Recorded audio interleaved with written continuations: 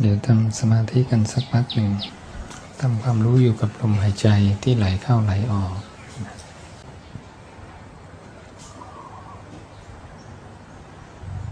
รัตถาคตสอนเรื่องของอานาปานสติ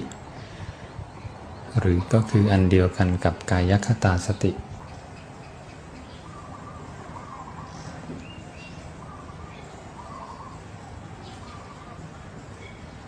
ภิกษุไปแล้วสู่ป่า สู่โคนไม้ สู่เรือนว่างก็ตาม นั่งคู่ขาเข้ามาโดยรอบ ตั้งกายตรงดำรงสติเฉพาะหน้า มีสติหายใจเข้า มีสติหายใจออก เมื่อหายใจเข้ายาว ก็รู้ว่าหายใจเข้ายาว เมื่อหายใจออกยาว ก็รู้ว่าหายใจออกยาว เมื่อหายใจเข้าสั้น ก็รู้ว่าหายใจเข้าสั้น เมื่อหายใจออกสั้น ก็รู้ว่าหายใจออกสั้น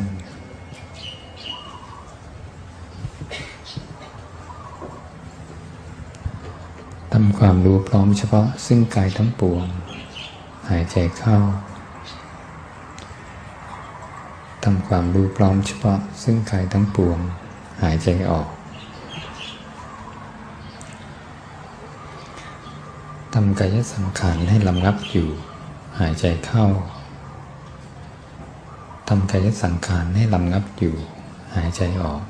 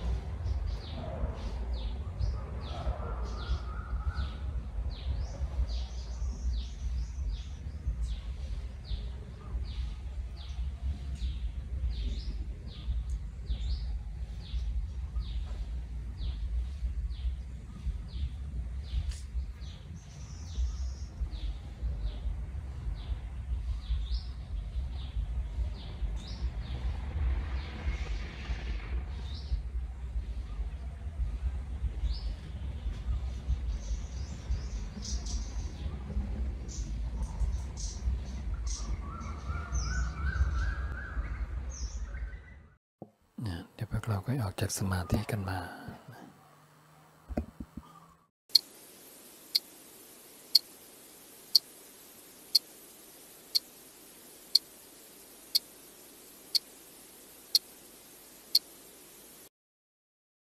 อิทะพิกเว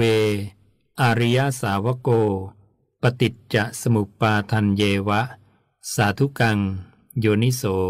มนสิกโรติ อิมัสสมิงสติ อิทังโหติ อิมัสสุปปาทา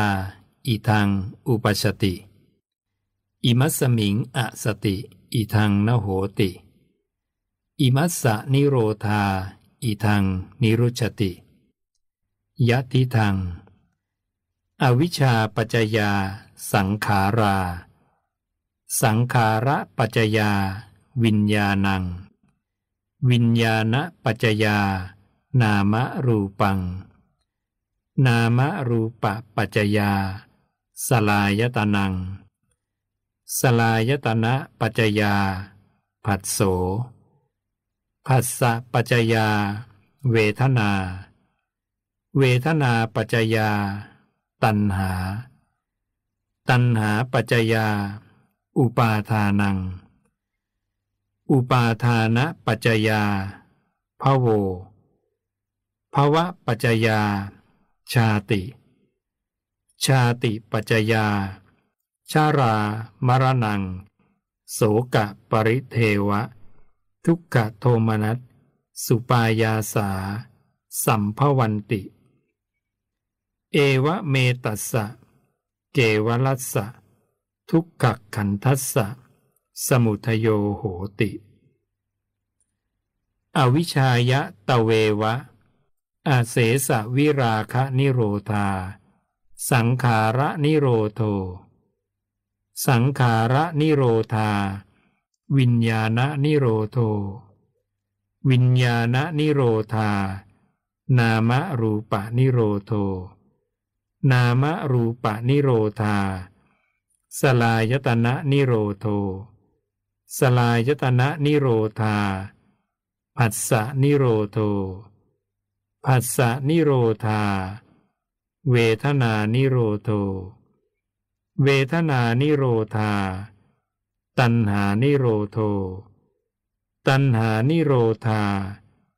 อุปาทานะนิโรโท อุปาทานะนิโรธาภาวะนิโรโท ภาวะนิโรธา ชาตินิโรโท ชาตินิโรธา ชารามรณัง โสกะปริเทวะ ทุกขโทมนัส สุปายาสา นิรุชันติ เอวะเมตัสสะ เกวลัสสะ ทุกขขันทัสสะ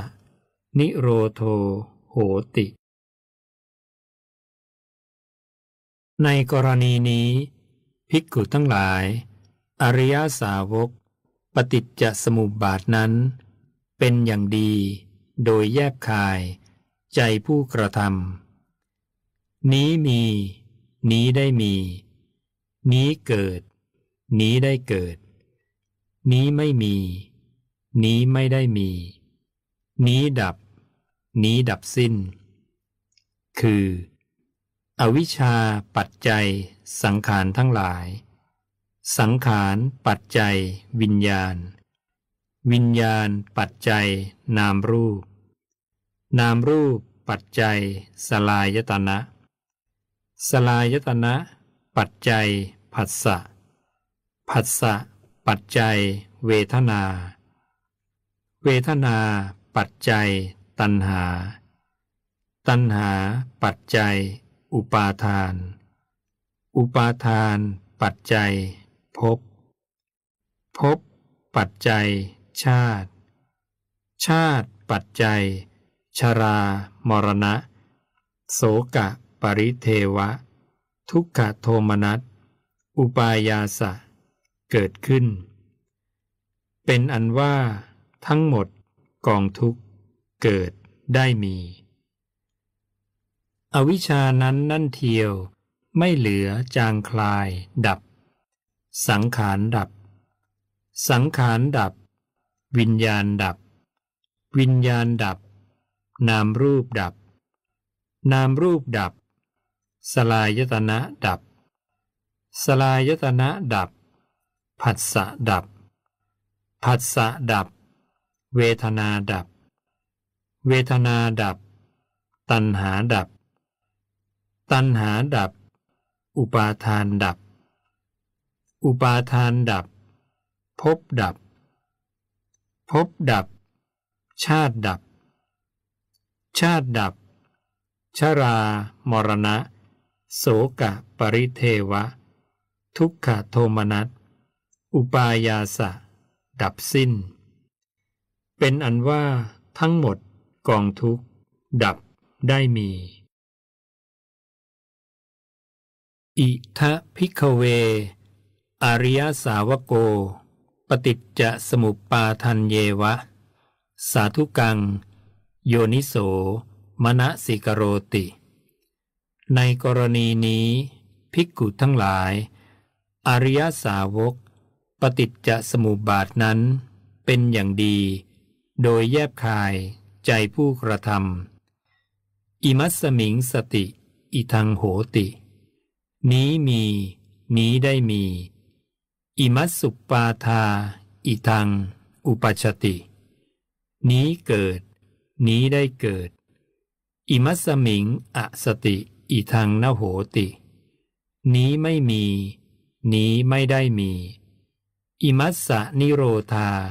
อิทัง นิรุชติ นี้ดับ นี้ดับสิ้น ยติทัง คือ อวิชชาปัจจยา สังขารา อวิชชาปัจจัยสังขารทั้งหลาย สังขาระปัจจยา วิญญาณัง สังขารปัจจัย วิญญาณ วิญญาณปัจจยานามรูปัง วิญญาณ ปัจจัย นามรูป นามรูปปัจจยา สลายตนัง นามรูปปัจจัย สลายตนะ สลายตนะปัจจยา ผัสโส สลายตนะ ปัจจัย ผัสสะ ผัสสะปัจจยา เวทนา ผัสสะปัจจัย เวทนา เวทนาปัจจยา ตัณหา เวทนาปัจจัย ตัณหา ตัณหาปัจจยา อุปาทานัง ตัณหาปัจจัย อุปาทาน อุปาทานะปัจจยาภโว อุปาทาน ปัจจัยภพภวะปัจจยา ชาติภพปัจจัย ชาติ ชาติปัจจยา ชะรามรณัง โสกะปริเทวะ ทุกขโทมนัส สุปายาสา สัมภวันติ ชาติ ปัจจัย ชรามรณะ โสกะปริเทวะ ทุกขโทมนัส อุปายาสะ เกิดขึ้น เอวะเมตัสสะ เกวลัสสะ ทุกขขันทัสสะ สมุทโย โหติ เป็นอันว่า ทั้งหมดกองทุกเกิดได้มี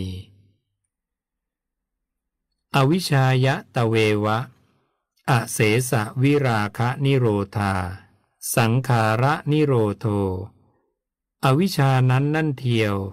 ไม่เหลือจางคลาย ดับ สังขารดับ สังขาระนิโรธา วิญญาณนิโรโท สังขารดับ วิญญาณ ดับ วิญญาณนิโรธา นามรูปะนิโรโท วิญญาณ ดับ นามรูป ดับ นามรูปะนิโรธา สลายตนะนิโรโท นามรูป ดับ สลายตนะ ดับ สลายตนะนิโรธา ผัสสะนิโรโท สลายตนะ ดับ ผัสสะ ดับ ผัสสะนิโรธา เวทนานิโรโทผัสสะดับ เวทนาดับ เวทนานิโรธา ตัณหานิโรโท เวทนาดับ ตัณหา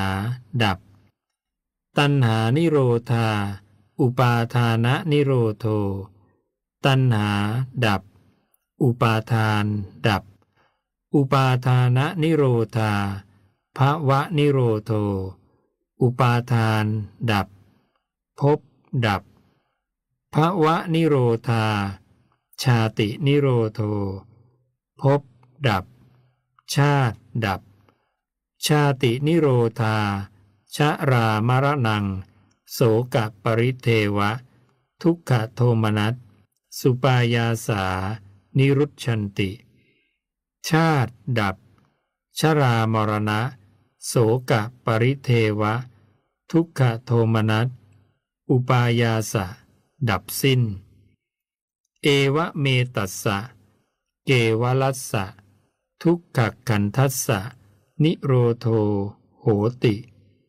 เป็นอันว่าทั้งหมดกองทุกข์ดับได้มี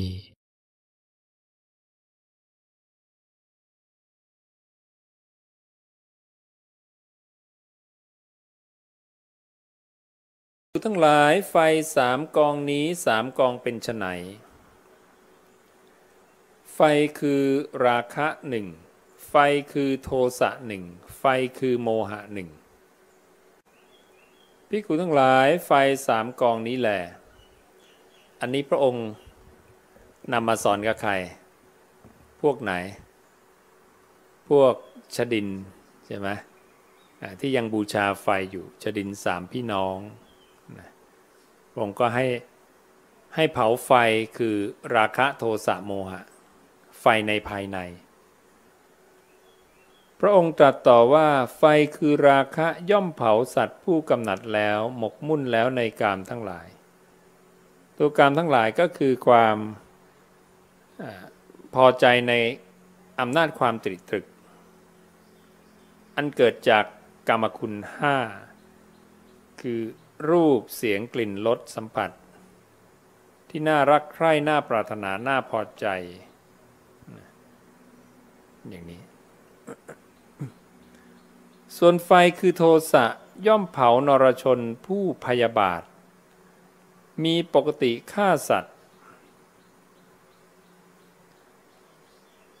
โทสะพยาบาทก็โทสะฆ่าสัตว์ก็โทสะ นะอยู่ในกองไฟคือโทสะ ถ้าผัสสะยังไม่เกิดนะโทสะก็ยังไม่มานะทั้งผัสสะของอวิชชาสัมผัสหรือตัวสัมผัสอันเกิดจากรูปเสียงกลิ่นรสโพธพะธรรมลม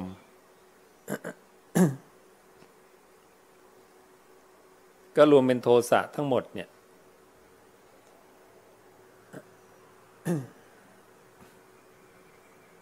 ดังนั้นพอผัสสะเกิด พยาบาทเกิดละ การเบียดเบียนเกิด เกิดการทำลายล้างการฆ่าตามมา การ ประหารด้วยฝ่ามือด้วยก้อนดินด้วยท่อนไม้ด้วยสัตราด้วยอาวุธ บาปอากุศลเป็นอเนกก็เกิดขึ้น จากโทสะที่เรามี เคยไหม เจอคนนี้ไม่ได้เนี่ย เกียดปื๊ดขึ้นมาเลยเห็นไหมเห็นนะ สัมผัสนะ ทางตานะสมบัติทางหูได้ยินเสียงคนนี้มาปุ๊บก็อืมปื๊ดขึ้นเลยนะนะเกิดสัมผัสเกิดโทสะขึ้นมา เกิดพยาบาทขึ้นมาละดังนั้นหน้าที่เราอย่างเดียวคือระงับไฟคือโทสะคนจะดีจะไม่ดีก็ตาม เราก็ต้องประสบอยู่แล้ว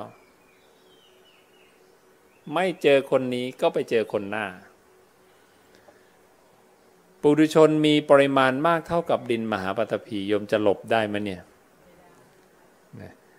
หลบไม่มีทางเลยนะมัวแต่จะไปหลบก็ตายก่อน โทสะก็ยังอยู่ใช่ไหมดังนั้นหน้าที่เราก็คือดับโทสะ ดับพยาบาท ดับเบียดเบียนนะ ไม่ใช่แต่บุคคลนะสถานที่นะไปเจอสถานที่ก็อืมระลึกละปรุงแต่งละใช่ไหมอ๋อนี่ที่นี้เคยเป็นอย่างนี้อย่างนี้ ใช่ไหมพระอรหันต์เป็นไหม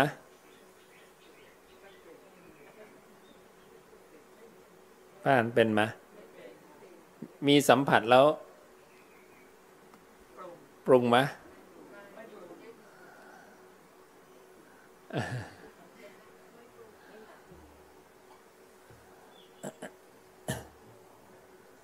จอเมืองเมืองหนึ่งแล้วโอ้เมืองนี้เคยเป็นอย่างนี้อย่างนี้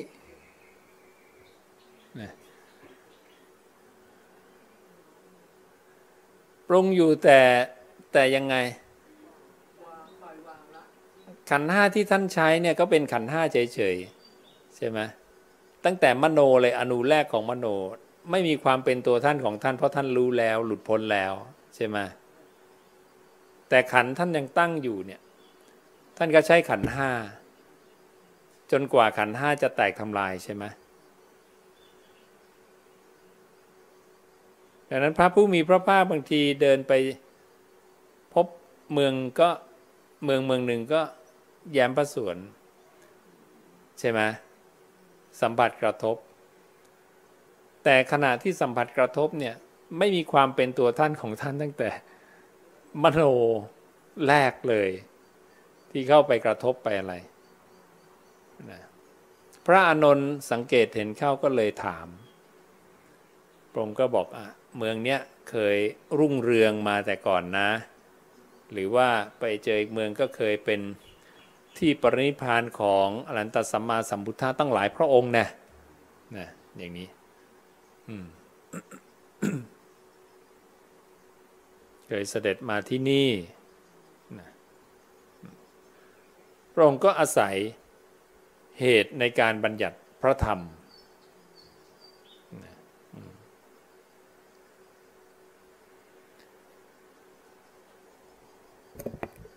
ดังนั้นขันห้าสำหรับพระอาหารหันต์แล้ว พระองค์ก็จะไม่ถือว่า ไม่ยุบไม่ก่อ ไม่คว้างทิ้งไม่ถือเอา ไม่ทำให้กระจายไม่ทำให้เป็นกองมันจะเป็นกองก็ไม่ไปกระจายนะไม่ทำให้กระจาย ไม่ทำให้เป็นกอง ก็มันก็เป็นเรื่องของมันทำงานกันเอง ไปตามเหตุพระองค์ก็เลือกหยิบเอานะเลือกหยิบเอา เพราะพระองค์หลุดพ้นแล้วจากสิ่งนี้ ยมหลุดหลุดพ้นแล้วจากความยึดมั่นถือมั่นในแก้วน้ำใบนี้ แต่โยมก็ยังใช้แก้วน้ำใบนี้ได้ใช่ไหมโยมก็ใช้แก้วน้ำในการดื่มกินได้นะแล้วโยมใช้แก้วน้ำแล้วโยมล้างไหมล้าง ยึดมั่นถือมั่นนี่ ไปล้างแก้วทำไมอะใช่ไหมก็เราล้างเพื่อ ให้มันสะอาดสะอ้านในการกินครั้งต่อไป แต่ไม่ได้ยึดมั่นถือมั่นว่านี้ของเรานี้เป็นเรานี้เป็นตัวตนของเราใช่ไหมดังนั้นเราก็ปฏิบัติต่อสิ่งนี้ต่อขันห้าไปตามปกติตามเหตุตามปัจจัยที่มันควรจะเป็น หรือว่าปล่อยวางแล้วไม่ซักเสื้อผ้า ซักไม่ละใช่ไหม ไม่อาบน้ำไหมเดี๋ยวมันก็จะไปเข้าอัตตกิลมัฐานุโยโค ซึ่งพระผู้มีพระภาคก็เคยกระทำมาแล้วใช่ไหมยังอาบน้ำอยู่เนี่ยยังไม่ปล่อยวางเนี่ยปล่อยวางจริงต้องไม่อาบสิพระองค์ก็ไม่อาบน้ำเลยเป็นปี ไม่แม้แต่คิดจะเอามือลูบฝุ่นในกายตนเอง ผิวกายพระองค์ก็เป็นตะปุ่มตะป่ำไปหมดเลย นะ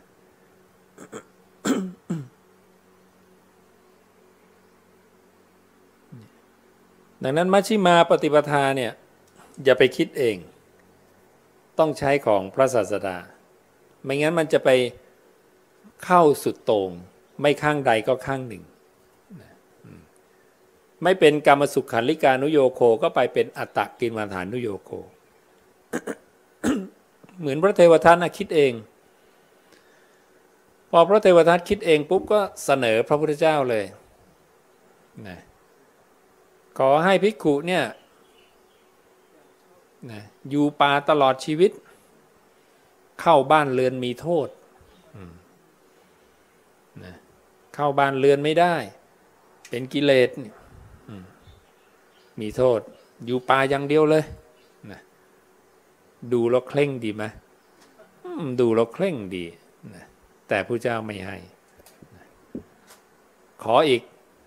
ให้ภิกขุอยู่โคนไม้ตลอดชีวิตเข้าที่มุงบังมีโทษ ถ้าพระเจ้าทรงมีพุทธานุญาตนี่อาตมานั่งในที่มุงบังอย่างนี้ไม่ได้ เราก็ต้องนั่งฟังธรรมกันใต้โคนไม้กันทั้งหมดนะแต่นี่พระองค์มีพุทธานุญาตนะ ว่าทำได้ไม่เป็นไร แล้วก็ทรงอนุญาตให้อยู่โคนไม้ได้ตลอด ตลอดกี่เดือนนะตลอด 8 เดือนนะใช่ในสี่เดือนที่เป็นการฝนให้อยู่ในที่มุงบังนะก็เลยมีเหตุของการจำพรรษาเกิดขึ้น นะ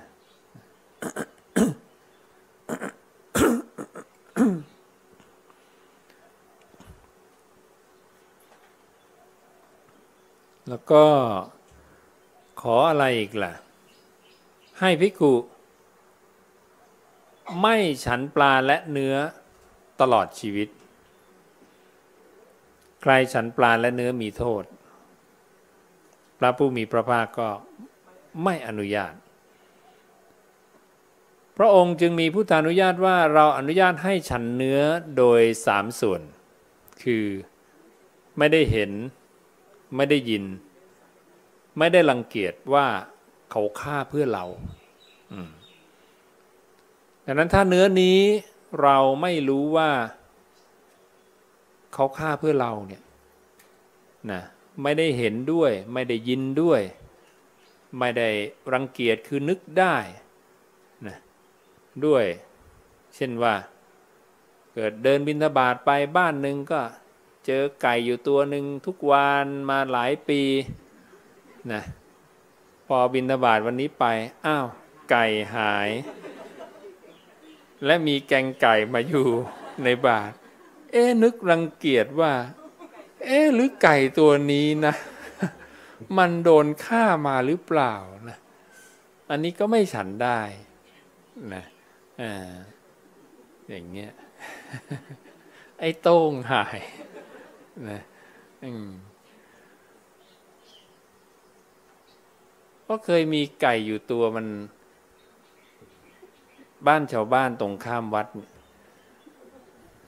มันก็เป็นไก่ชน ผู้ตรากตรำผ่านศึกมานาน จนเขาปลดระวางอ่า ก็ให้มาอยู่บ้านเฉยๆแต่ทีนี้มันไม่เลิก ใครมาบ้านมัน มันจะชนตลอดเลย กระโดดตีกระโดดจิกกระโดดนะอืม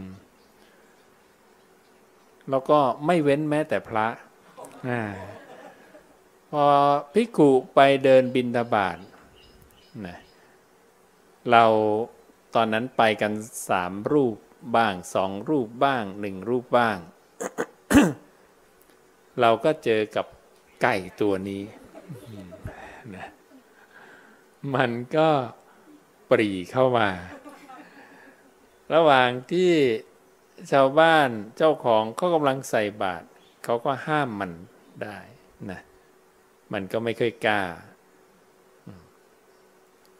แต่พอใส่บาตรเสร็จคล้อยหลังเท่านั้นแหละ มันก็วิ่งเข้าใส่เราเลยนะกระโดดขึ้นตีนะจีวรก็เลอะขี้เลนไปหมดเลยนะเราก็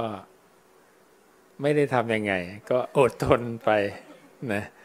กลับมาก็มาซักย้อมจีวรออะไรกันใหม่ผ่านไปนานๆ อ้าวไอ้โต้งหาย มันไปไหนของมันนะเนี่ยนะเออนะแต่หน้าตาไก่มันยับเยินมากเลยนะ มันเข้าใจเลยว่าผ่านศึกมามากนะเลยถามว่าอ๋อเป็นไก่ชน อดีตไก่ชนเก่านะ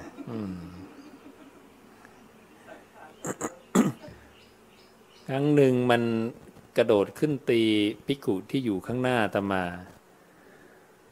มันโดดพลาดหัวไปชนบาทนะเพราะมันกระโดดลอยขึ้นมาเลยบินกระพือปีกด้วย หัวชนบาดโป๊กพอดีเลย มันก็ลงไปมึนแบบควงอยู่สักพัก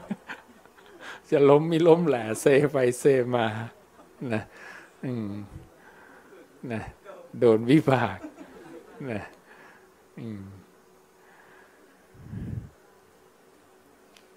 แต่เราโดนตีอยู่อย่างนั้นเป็นเดือนนะหลายเดือนมากเลย เราก็ เอ๊ะเจ้าของเขาก็ไม่ห้ามปาไม่ทำอะไร เราก็อดทนไป นะไม่ต้องไปบ่นไปอะไรเป็นพิขุเป็นสมณะเราก็มีขันติอดทน นะ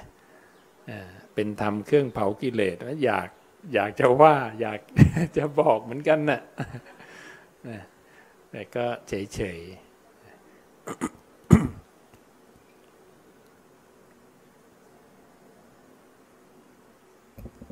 อันนี้เรื่องไก่ หมาก็มีนะ ตอนใส่บาตรก็ไม่ว่าอะไร อคล้อยหลังกันนั้นนะงับนะโดนสองรอบเนี่ยนะรอบแรกกันที่น่อง รอบสองที่นักแข่งนะวันหลังมาเอาอีกนะเดินบินตบาทนี่ก็เสี่ยงภัยนะ อืมอะ มีหมาแล้วไม่เข้าไปเหรอ จะไม่เข้าเขาก็ยืนรอให้เราเข้าไป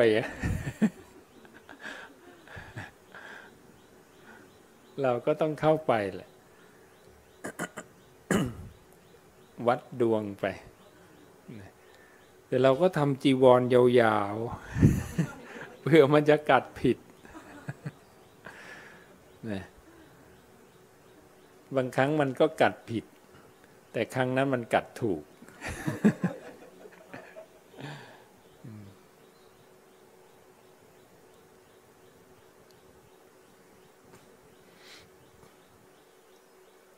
มาอยู่ที่สลาก็ เริ่มปวดแผลที่หมากัด ก็ไม่รู้มันเป็นบ้าหรือเปล่า แล้วอยู่คนเดียวตอนนั้นก็ไม่รู้จะทำยังไง ก็ โชคดีมีโยมอยู่คนเข้ามาเพราะเราก็เลยนั่งตอนนั่งฉันก็เลย นั่งเอาขายืดมา เพราะมันเริ่มเจ็บงอขาไม่ก็ได้ โยมคนนี้ก็ก็อยู่แถวปากคลองเข้ามาถวายอาหารพอดี ก็เลยบอกอ๋ออาจารย์เป็นอะไรบอก โดนหมากัดมาหมาบ้านนน ก็ก็เลยนิมนต์ไปฉีดยานะอืมีงั้นป่านี้เป็นบ้า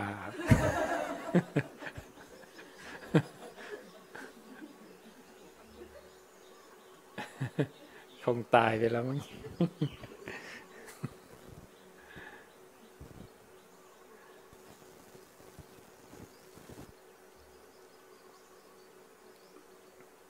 อันนี้เรื่องสุนัข ตัวต่อก็มี อืม ตัวต่อ แต่ก่อนมันมาตั้งรังแถวนะหัวมุมศาลานะช่วงตีสี่ตีห้าก็กวาดทำความสะอาดสลา พอกวาดมาถึงมุมนี้ โป๊กเลยแน่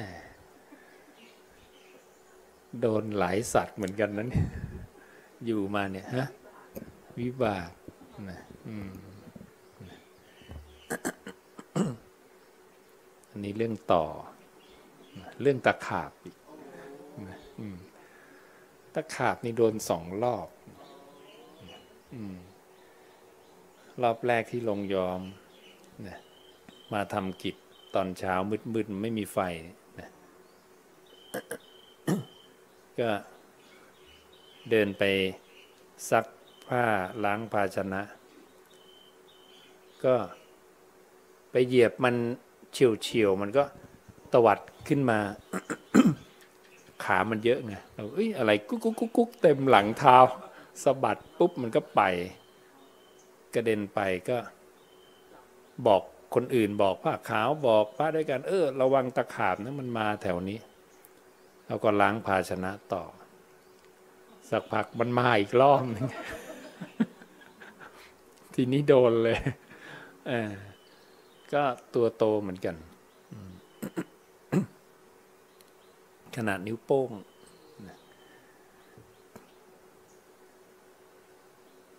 ครั้งที่สองเนี่ย ตอนนั้นศาลาไม้นี่ยังไม่มีไม่มีซีกนี้ มีแค่ซีกเสาสุดอยู่แค่เนี้ยต้นนี้ แล้วก็เสาชายน้ำนี่สองฝั่งนี้ตรงนี้ยังไม่ได้สร้าง ตรงนี้ก็จะเป็นห้องเล็ก ๆ ห้องหนึ่งเอาไว้ เก็บเข้าของ ช่วงนั้นอาตมารู้สึกว่า กลับมาจากวิเวกใหม่ ๆ แล้ว เป็นมาเลเรียก็มานอนที่นี่ไงก็ตะขาบมันก็ขึ้นตามเสามาลอดรูขึ้นไปในห้อง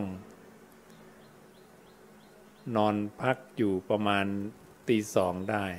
เอ๊ะ อะไรกัดศีรษะ ครั้งที่หนึ่ง มันก็กัดอีกครั้งที่สองแปลกๆพอกัดครั้งที่สามไม่ใช่ยุงแล้วเนี่ย ก็ลุกขึ้นมา เปิดไฟ โอ้โห ตะขาบตัวเบลิ่มเลยนะ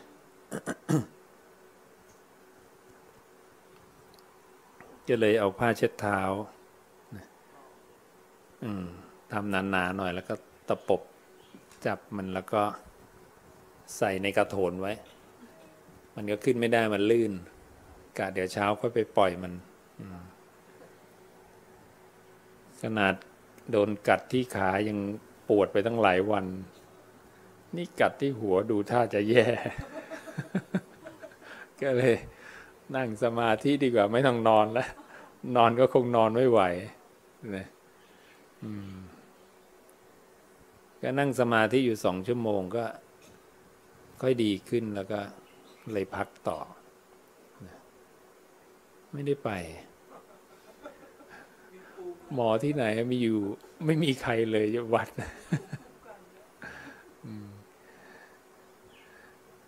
พระเจ้าถึงบอกเวลาเราอยู่คนเดียว อยู่ป่าอยู่ที่ไหนตามคนเดียวเนี่ย งูตะขาบมแมลงป่องจะกัดเราตายเราจะพลัดตกหกล้มนะมนุษย์จะเบียดเบียนนะเสือโคร่งเสือดาวเสือต่างๆ พวกนี้จะมาทำร้ายเรา มันก็มีโอกาสได้หมดอะนะพระองค์ก็เลยไม่ให้เราประมาทต่อความตายนะเราตายได้ตลอดเวลา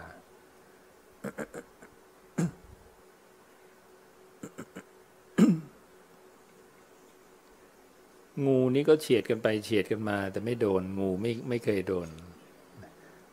ไม่มีเวรกรรมต่อกันข้างในใครจะเดินไปดูก็ระวังงูด้วยนะ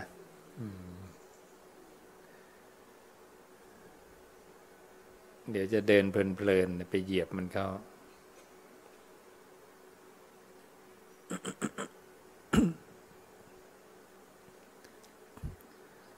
นี่พระองค์ตรัสต่อว่า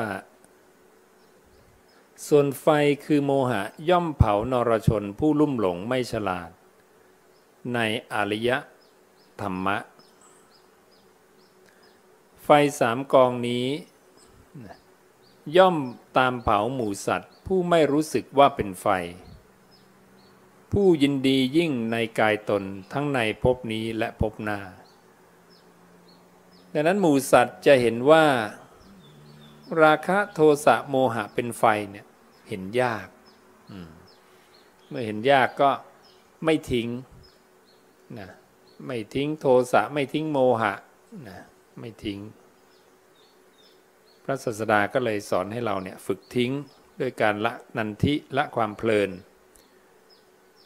และไอ้ไฟเนี่ยมันตามเราไปทั้งภพนี้ภพหน้าเลย ในเวลาถัดมาและถัดมาอีกนะ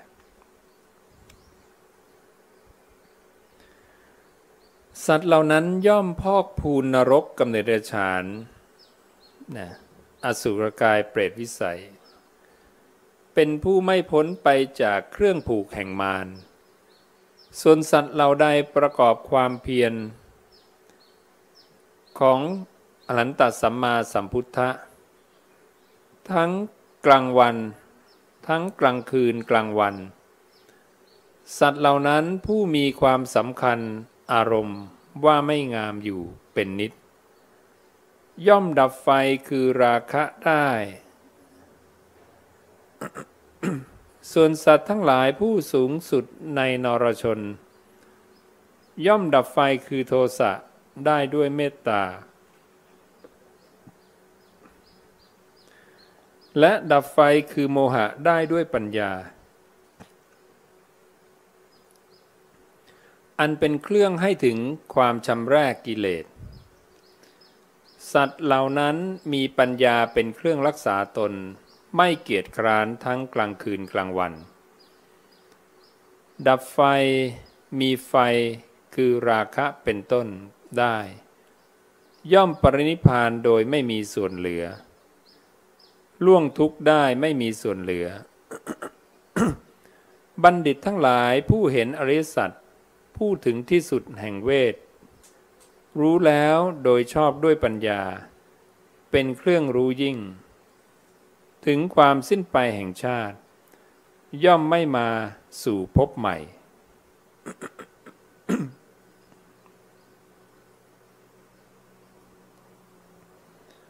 นี่ก็เป็นไฟสามกองที่พระผู้มีพระภาคให้เราดับฝึก ละบรรเทานะทำให้เบาบางลงไปทำให้สิ้นสุดไป จนไม่มีเหลือนะดังนั้นเราจะเห็นว่าพระผู้มีพระภาคเจอใครก็เมตตาหมดนะ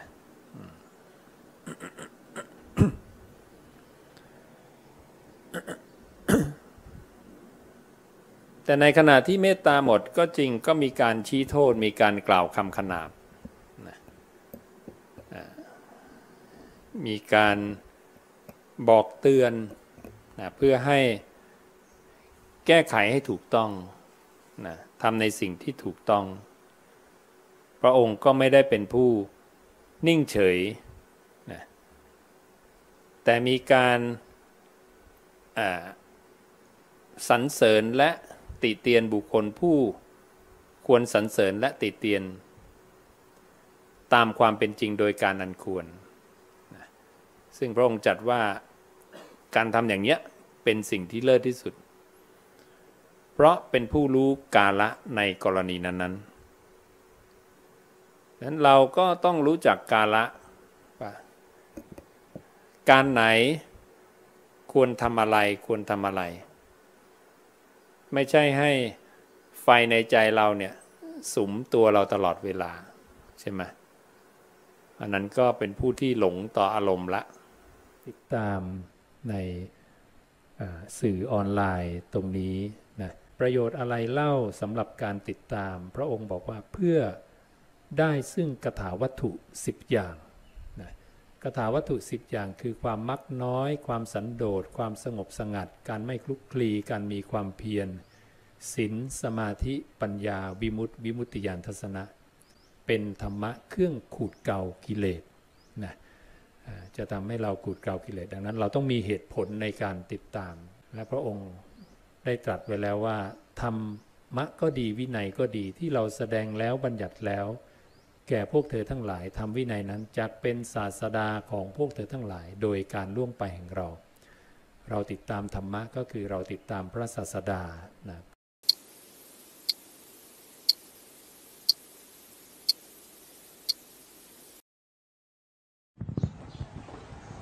เดี๋ยวทำสมาธิกันสักพักหนึ่ง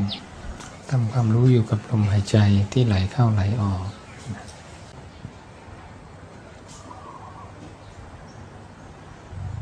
รัตถาคตสอนเรื่องของอนาปานสติ หรือก็คืออันเดียวกันกับกายคตาสติ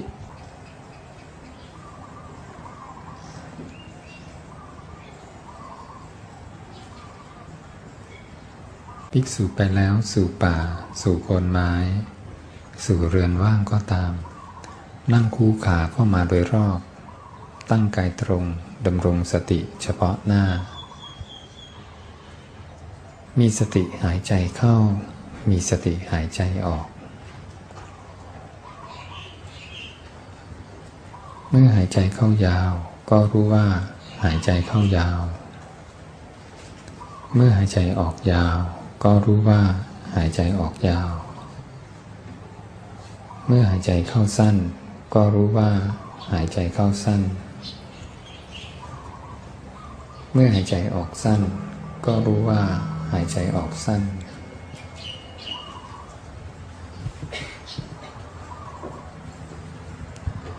ทำความรู้พร้อมเฉพาะซึ่งกายทั้งปวง หายใจเข้า ทำความรู้พร้อมเฉพาะซึ่งกายทั้งปวง หายใจออก ทำกายสังขารให้ลำงับอยู่ หายใจเข้า ทำกายสังขารให้ลำงับอยู่ หายใจออก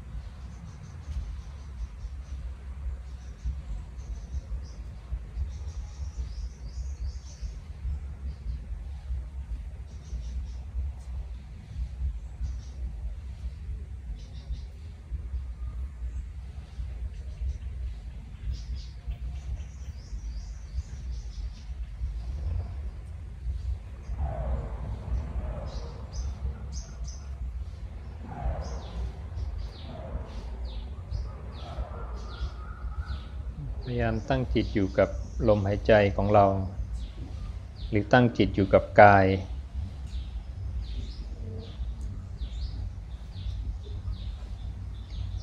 ที่เรียกว่ากายคตาสติท่านตรัสว่าลม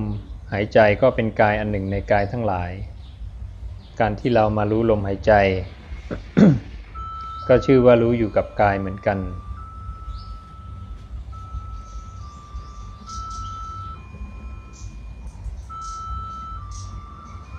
การสร้างความระลึกได้ถึงกาย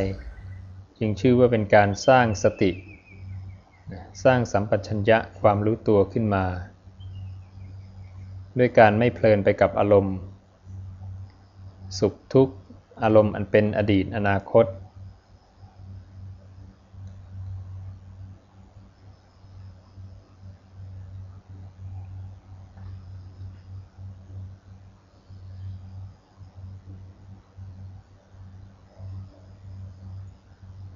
เป็นผลดีทั้งในทางโลกทางธรรม ในทางโลก การงานของเราก็จะสำเร็จผลจะดีไปด้วย เพราะว่าเรามารู้อยู่กับการทำในปัจจุบันของเรา การทำในปัจจุบัน จะเกิดข้อผิดพลาดน้อยที่สุด ผลดีในทางธรรม จะเป็นเหตุให้เห็นการเกิดดับ ของธรรมชาติทั้งหลายที่เป็นรูปเป็นนาม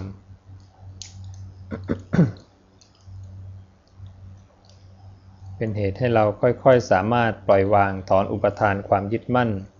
ออกจากธรรมชาติ ที่เกิดที่ตายออกไปได้ เราจึงมาฝึก ตั้งไว้ซึ่งกายคตาสติ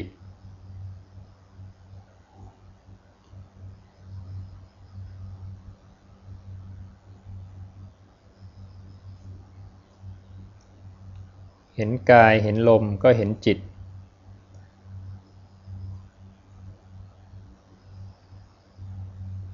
ลมหายใจไม่มีความรู้อะไร ผู้ที่รู้ลมเข้าลมออกอยู่ก็คือจิต หรือวิญญาณขัน ผู้รู้แจ้ง รู้สึกได้ต่ออารมณ์ต่างๆ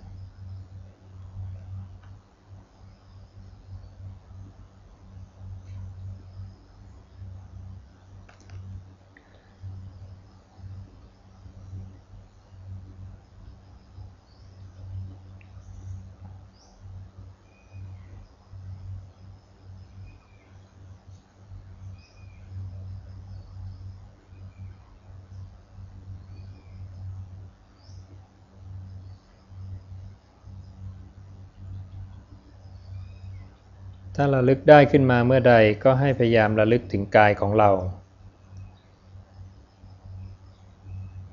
อันนี้ท่าน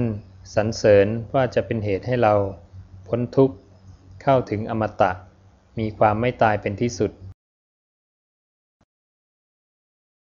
ทำความรู้อยู่กับกายของเรา อาศัยกายเป็นฐานที่ตั้ง ของจิตผู้รู้ของเรา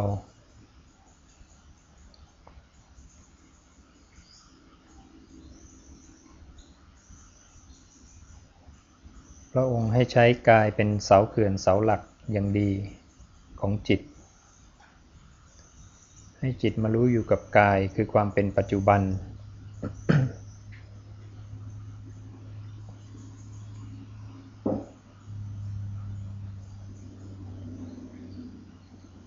กายจะเป็นธาตุดินหรือธาตุลมก็ได้ ถ้าเราเดินอยู่ก็รู้อยู่กับการเคลื่อนไหวของธาตุดินคือร่างกาย ถ้าเราไม่ได้ทำอะไร เรารู้อยู่กับลมหายใจ ท่านบอกว่าลมหายใจนี้เป็นกายอันหนึ่งในกายทั้งหลาย เรารู้ลมก็ชื่อว่ารู้อยู่กับกายเหมือนกัน เป็นกายคตาสติ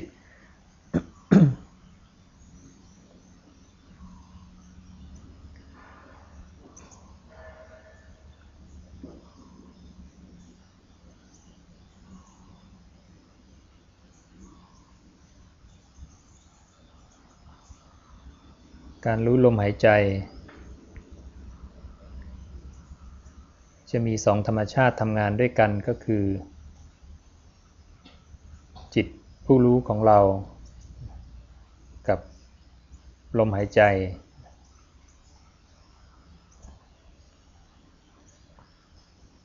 ลมไม่มีความรู้อะไร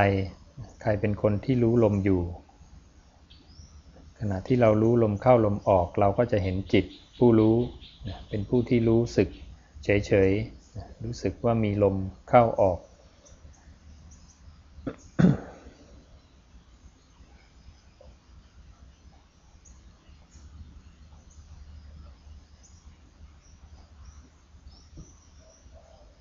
ก็ให้เราดูที่ผู้รู้ลม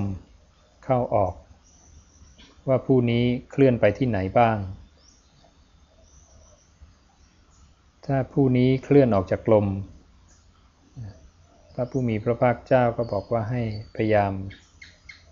อย่าเพลินไปกับอารมณ์อื่นๆ ให้กลับมาตั้งไว้ซึ่งกายคตาสติ ก็คือการละนันทิคือความเพลินนั่นเอง เป็นธรรมชาติที่จิตจะออกไป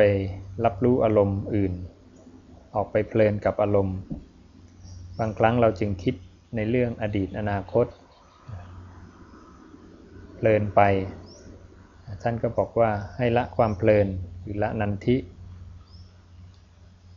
แล้วกลับมาตั้งไว้ซึ่งกายคตาสติ เป็นเหตุให้ได้มาซึ่งสติ ซึ่งสัมปชัญญะ เป็นการฝึกความระลึกได้ ฝึกความรู้ตัว ถ้ารู้ตัวอยู่กับปัจจุบันได้นานๆ ก็ชื่อว่าจิตเรามีความตั้งใจมั่น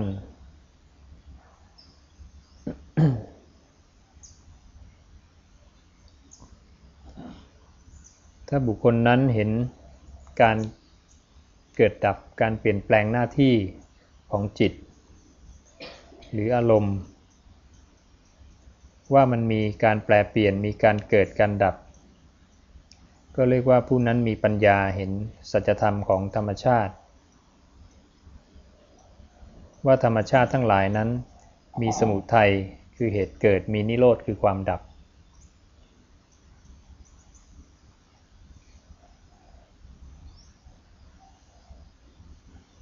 การมาตั้งไว้ซึ่งกายคตาสติ จึงเป็นทั้งสมถะและวิปัสสนา เคียงคู่กันไป พระองค์จึงตรัสว่า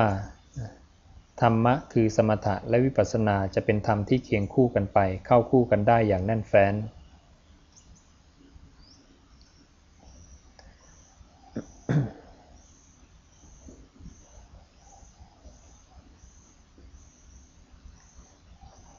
และเป็นเหตุให้หน้าที่ในปัจจุบันของเรานะก็จะไม่บกพร่อง หรือมีความบกพร่องน้อยที่สุด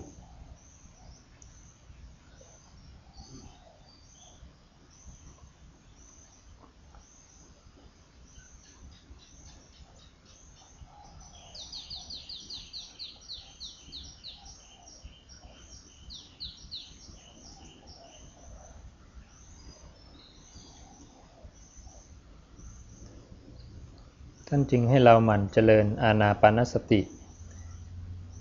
หรือเรียกอีกอย่างว่าตถาคตวิหารเครื่องอยู่ของพระพุทธเจ้า เครื่องอยู่ของพระตถาคต ท่านบอกว่าจะมีผลใหญ่มีอานิสงส์ใหญ่ มีอมตะคือความไม่ตายเป็นที่สุด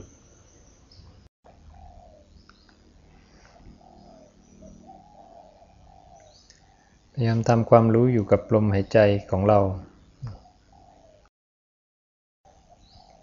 ด้วยการละความเพลินในความคิดในอดีตอนาคต พยายามตั้งจิตอยู่กับปัจจุบัน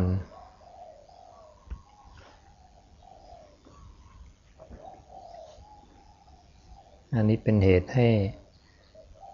เราได้มาซึ่งสติ สัมปชัญญะ และสมาธิและปัญญา ถ้าเราจะทำความเพียร เพื่อความพ้นทุกข์ ท่านก็ให้มาตั้งจิตอยู่กับปัจจุบัน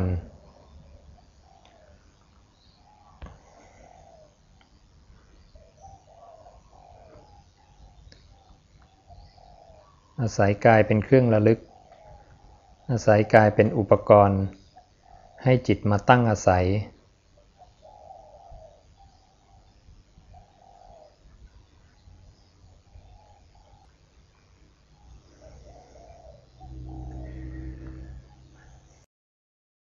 ถ้ามีเวลาระลึกได้ก็ให้มัน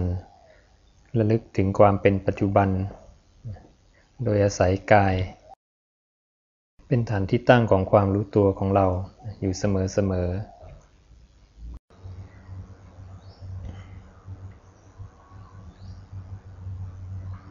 การมีสติอยู่กับกาย ชื่อว่าเป็นกายคตาสติ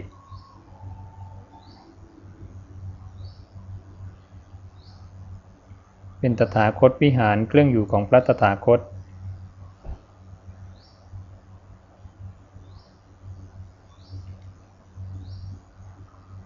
เป็นสิ่งที่พระองค์บอกถ้ากระทำให้มากเจริญให้มาก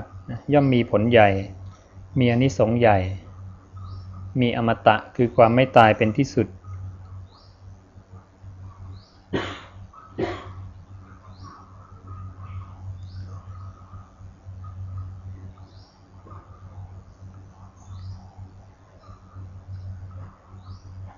ถ้าเรามีเวลาก็ให้พยายามหมั่นระลึกถึงลมหายใจอยู่เสมอทำความรู้อยู่กับกายของเรา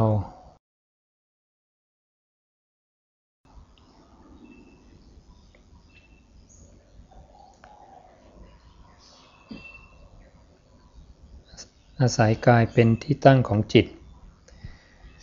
ให้จิตผู้รู้มาตั้งมั่นอยู่กับกาย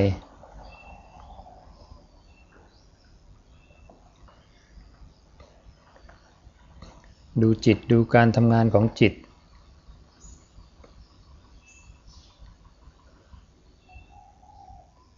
เราให้มันตั้งมั่นอยู่กับกายแล้ว มันอยู่ได้ไหม ถ้าให้มันอยู่ได้นานๆ ก็เรียกว่าจิตเรามีสมาธิ สร้างสมาธิความตั้งใจมั่นให้เกิดขึ้นได้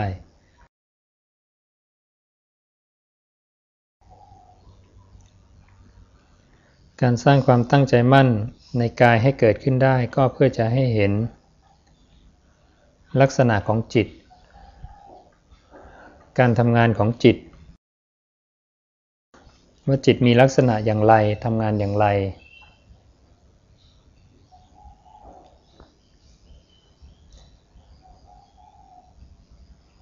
เราก็จะเห็นจิต มีการเคลื่อนไหวไปมาไม่เที่ยง เราก็เริ่มเรียนรู้ ลักษณะอาการของจิตไปเรื่อยๆ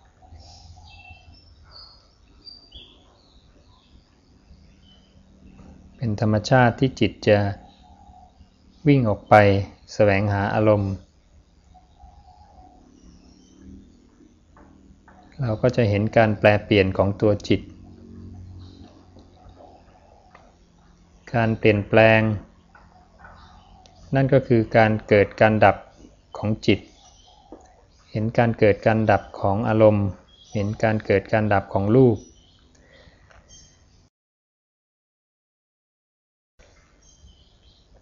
การเอาจิตมาไว้อยู่กับกาย จึงมีประโยชน์อย่างมาก กิจการงานในปัจจุบันของเราก็จะดีไปด้วย ได้ความสงบด้วย ได้ปัญญาด้วย เห็นลักษณะอาการของจิต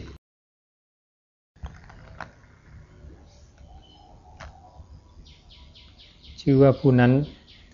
ทำความเพียรที่ถูกต้องทำความเพียรลงที่จิต ให้รู้จักจิต รู้จักอาการของมัน รู้จักธรรมชาติของมัน การมีสติหมั่นระลึกได้ถึงกาย ให้จิตผู้รู้ตั้งอยู่กับกาย ก็เป็นสัมมาสติเป็นสติที่ถูกต้อง ได้ความเพียร ได้สติ ได้สมาธิ อันเป็นสัมมาปฏิบัติ เป็นการปฏิบัติที่ถูกต้อง ได้สัมมาทิฏฐิความเห็นที่ถูกต้องติดตามมา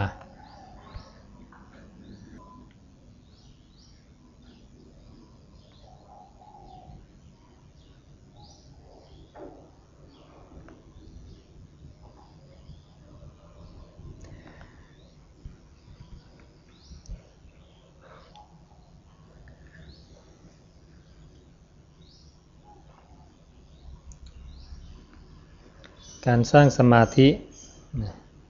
ขอให้เข้าใจว่าสร้างเพื่อให้เกิดปัญญาขึ้นมา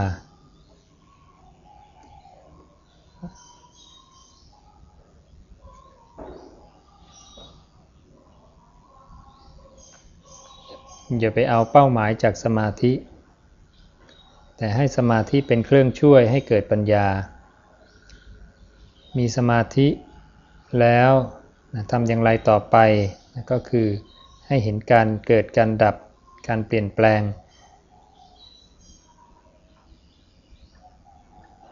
ของธรรมชาติทั้งหลายนั่นเอง ธรรมชาติอันเป็นรูป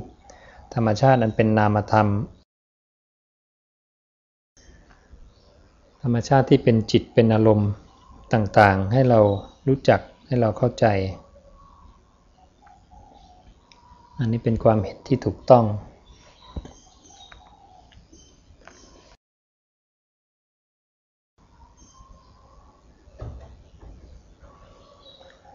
สมาธิจะสงบขนาดไหนก็ได้ ขั้นต่ำที่สุดก็คือว่าจิตปราศจากอากุศล จิตไม่คิดไปในทางกาม ไม่คิดไปในทางพยาบาท ไม่คิดไปในทางเบียดเบียน ไม่คิดไปในทางยินดียินร้ายนั่นเอง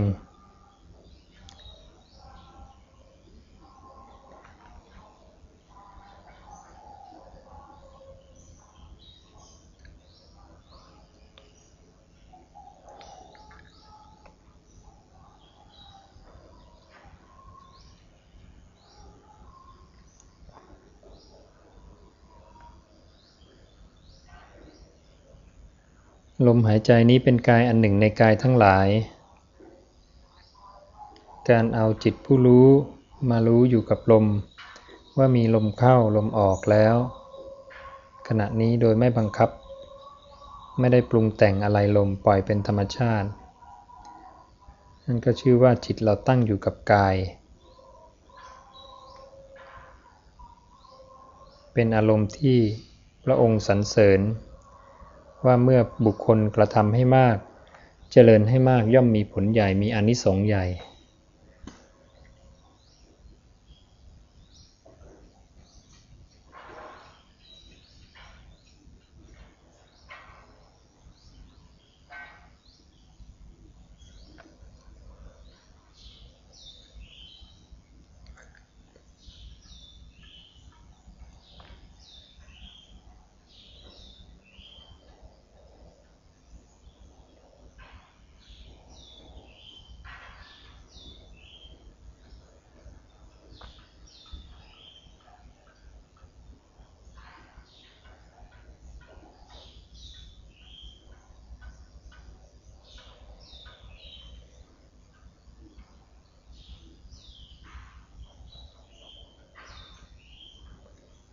สถานที่ใดที่ทำงานที่บ้านที่วัด หรือที่ไหนก็ตาม ถ้ามีความระลึกได้ขึ้นมา ก็ให้หมันระลึกได้ ถึงลมหายใจของเรา อยู่เสมอเสมอพยายามให้เห็นความไม่เที่ยง อยู่เสมอเสมอเห็นการเกิดการดับ การภาวนาก็ทำเท่านี้จะเป็นเหตุแห่งความเจริญในธรรมวินัย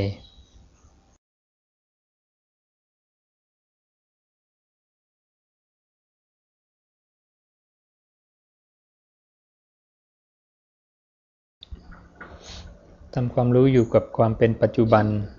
อาศัยกายของเราเป็นฐานที่ตั้งของสติคือความระลึกได้ ที่ท่านเรียกว่ากายคตาสติ มีสติระลึกรู้อยู่กับกาย ให้ผู้รู้เนี่ยจิตของเรา มาตั้งมั่นอยู่ที่กาย หรือความเป็นปัจจุบัน พยายามละความเพลินในอดีตในอนาคต ความคิดที่ปรุงไป จะเป็นอดีตก็ตามอนาคตก็ตาม หรือถ้าจิตไปรับรู้อารมณ์ อันเป็นสุขก็ตามเป็นทุกข์ก็ตาม ก็ให้พยายามละนันทินันทิแปลว่าความเพลิน ละนันทิออกไปซะกลับมาตั้งจิต ผู้รู้อยู่กับกายของเรา รักษาความเป็นปัจจุบันเอาไว้ อันนี้เรียกว่าเป็นการฝึกสติของเราฝึกความระลึกได้ ถ้าเรามีความรู้ตัวอยู่กับปัจจุบันได้นานๆ ท่านก็เรียกว่าจิตของเรามีสมาธิ มีความตั้งใจมั่นอยู่ในอารมณ์อันเดียว สมาธิคือการสร้างความตั้งใจมั่น ให้อยู่ในอารมณ์อันเดียวจะเป็นอารมณ์อะไรก็ได้ อารมณ์ที่พระองค์แนะนำก็คือ กายของเรา เป็นอุปกรณ์ที่มีอยู่กับตัว ไม่ต้องไปพึ่งพา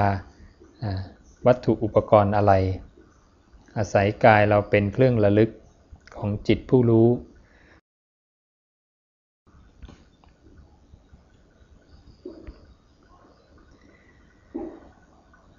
เมื่อจิตตั้งมั่นได้นานๆแล้วนะถ้าบุคคลใดเห็นการเปลี่ยนแปลงของจิต ของอารมณ์ในภายใน ก็เรียกว่าผู้นั้นมีวิปัสสนาญาณก็คือมีปัญญาเห็นความจริงของธรรมชาติ ว่าธรรมชาติทั้งหลายนั้นมีการเกิดขึ้นมีการดับไป ธรรมชาติทั้งหลายมีการแปลเปลี่ยน มีความเป็นอนิจจัง มีทุกขังคือความแตกสลายดับไป ไม่ว่าจะเป็นรูปเป็นนามก็ตาม ก็จะมีลักษณะอย่างเดียวกันก็คือมีการแปลเปลี่ยน มีการเสื่อมไปจางคลายไปดับไปในที่สุด อันนี้คือสิ่งที่พระผู้มีพระภาคเจ้าต้องการให้เราเนี่ยเข้าไปรู้เข้าไปเห็นความจริงของธรรมชาติอันนี้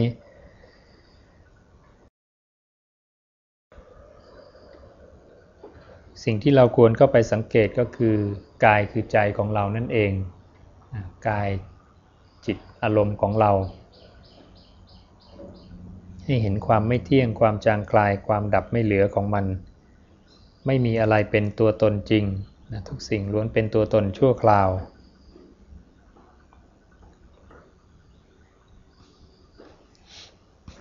ขณะที่เราทำสมาธิอยู่กายวาจาก็ไม่ได้ไปผิด บกพร่องอะไรศีลจึงมีครบโดยอัตโนมัติของมัน เพราะศีลเป็นการควบคุมกายวาจาไม่ให้ผิด เมื่อขณะนั้นกายวาจาไม่ผิดก็เรียกว่าศีลก็มีอยู่สมบูรณ์ในตัวของมัน ขณะที่เราตั้งไว้ซึ่งกายคตาสตินะให้จิตผู้รู้อยู่กับกาย จึงมีครบทั้งศีลสมาธิและปัญญาในตัวเสร็จ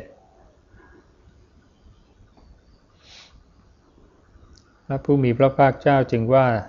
ธรรมคือสมถะและวิปัสสนาจะเป็นธรรมที่เคียงคู่กันไปเข้าคู่กันได้อย่างแน่นแฟ้น แม้ตัวพระองค์เองก็ใช้อาณาปานสติเป็นวิหารธรรมเครื่องอยู่ เราลองคิดดูว่าท่านเป็นถึงพระพุทธเจ้านะท่านก็ใช้เครื่องอยู่เพียงลมหายใจเข้าออกของท่านเอง อาศัยลมหายใจของท่านเองเป็นเครื่องอยู่เป็นการทำให้เป็นแบบอย่างเป็นตัวอย่างแก่สาวกทั้งหลาย ท่านจึงให้คำเรียกอาณาปานสติอีกอย่างว่าตถาคตวิหารเครื่องอยู่ของพระตถาคต หรืออริยวิหารเครื่องอยู่ของพระอริยบุคคลทั้งหลาย การรู้ลมหายใจก็ชื่อว่าเป็นการรู้กายเหมือนกัน เพราะท่านตรัสว่าลมหายใจนี้เป็นกายอันหนึ่งในกายทั้งหลาย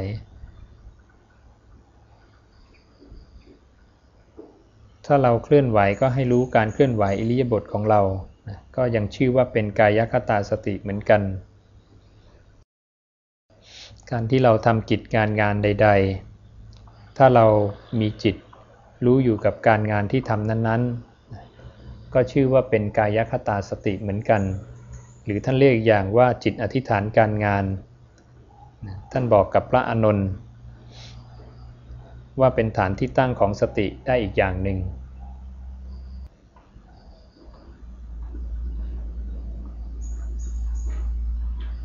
เราจึงควรใช้มรรควิธีเครื่องมือให้เหมาะกับสถานภาพของเราเหมาะกับโอกาสของเราว่าขณะนั้นเราทำอะไรอยู่ การปฏิบัติการภาวนาจะได้เชื่อมติดต่อกันเป็นสายไปทั้งวัน เพราะกิเลสไม่ได้เลือกเวลาเกิด กิเลสไม่ได้เลือกเวลายืนเดินนั่งนอนนะหรือเวลาที่เราจะคอยนั่งสมาธิ แล้วกิเลสจะเกิดเวลานั้นเท่านั้น มันเกิดได้ตลอดเวลา ท่านจึงให้เรามีสติสัมปชัญญะ มีความรู้ตัวอยู่ตลอดเวลา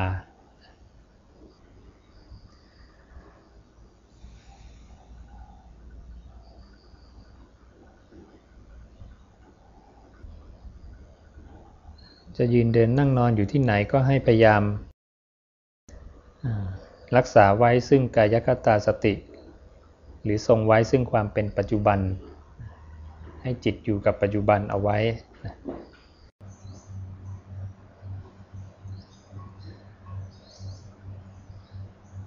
เอาความรู้สึกของเรามารู้อยู่กับลมหายใจเข้าออก รู้เพียงว่ามีลมเข้าลมออกในกายของเรา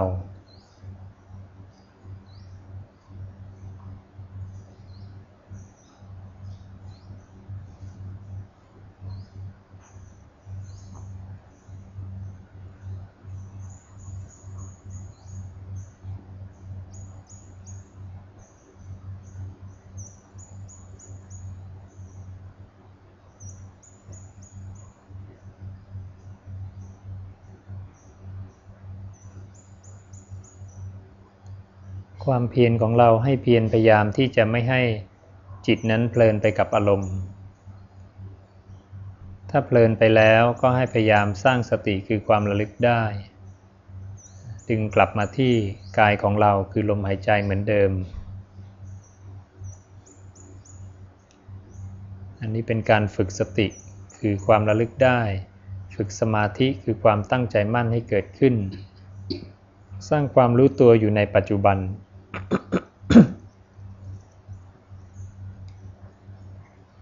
อันนี้จะเป็นเหตุให้งานทางโลกของเราก็ดี ไม่บกพร่องไม่ผิดพลาด เกิดข้อบกพร่องน้อยที่สุด และจะเป็นเหตุให้ได้งานทางธรรม คือสติ สัมปชัญญะและสมาธิ และถ้าผู้ใดเห็นการเกิดดับของอารมณ์ของจิตของกาย ก็เรียกว่าผู้นั้นมีปัญญา เห็นความจริง เห็นสัจธรรมของธรรมชาติ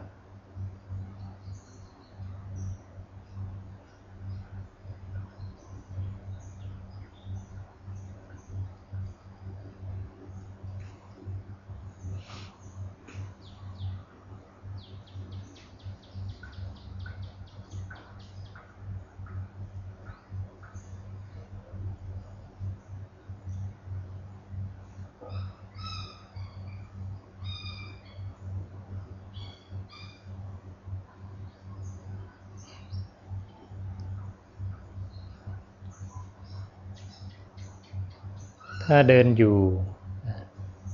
ก็ให้รับรู้อยู่กับเท้าที่สัมผัสพื้น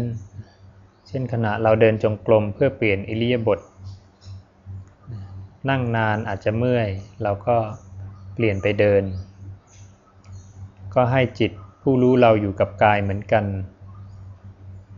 รู้อยู่กับเท้าแต่ละก้าวที่ก้าวไป ถ้าจิตหลุดไปคิด ในอดีตอนาคตก็ตามก็ให้พยายามดึงกลับมาที่การก้าวเดินของเราแต่ละก้าวให้รู้อยู่เท่านี้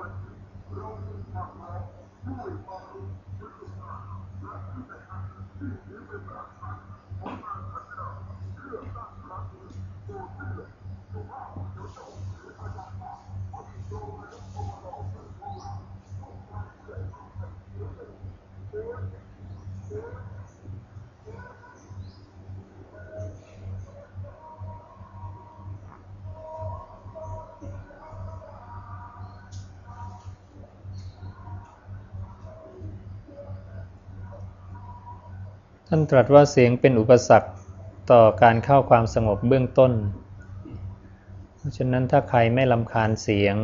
รอบข้างภายนอกได้ก็เรียกว่าสามารถเข้าสู่ความสงบในระดับที่หนึ่งเรียกว่าฌานที่หนึ่ง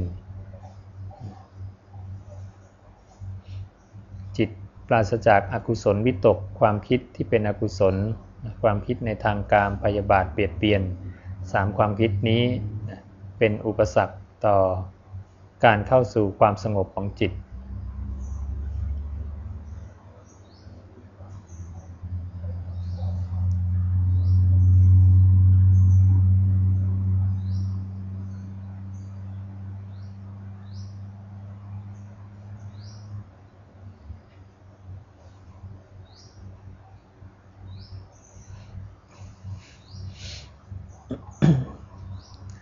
จะยืนเดินนั่งนอน อยู่ที่ไหน ก็ตามก็ให้พยายามระลึกถึงลมหายใจของเราอยู่เสมอ อันนี้จะเป็นเหตุ ให้เรามีสติมีสัมปชัญญะ มีความเจริญทั้งทางโลกและทางธรรม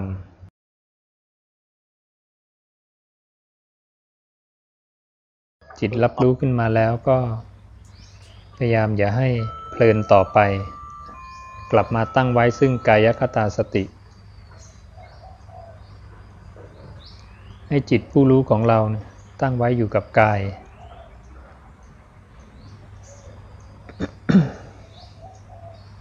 อันนี้เป็นวิธีการฝึก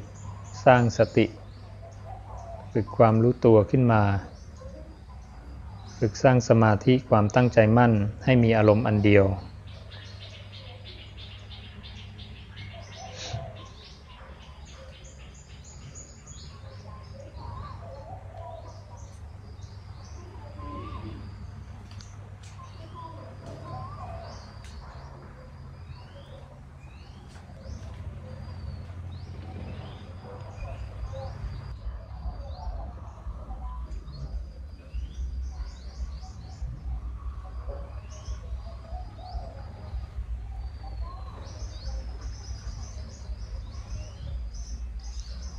าจิตเราตั้งมั่นพอสมควรแล้วก็ให้น้อมไปพิจารณาในเรื่องความแก่เจ็บตาย เห็นการเกิดการดับของธรรมชาติทั้งหลาย ไม่ว่าจะเป็นรูปเป็นนามก็ตาม เพื่อให้เห็นสัจธรรมความจริงของธรรมชาติ อันนี้จะเป็นเหตุให้เราถอนอุปทาน จากธรรมชาติทั้งหลายที่เกิดตายได้